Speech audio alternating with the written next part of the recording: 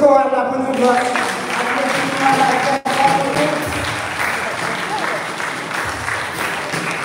Et nous disons Dieu merci pour chorale la prophétie, les dames de la prophétie et la chorale de l'église qui t'a offert nous deux bons numéros. Nous disons Dieu merci pour ça. On a continué prier pour eux, pour eux capables de toujours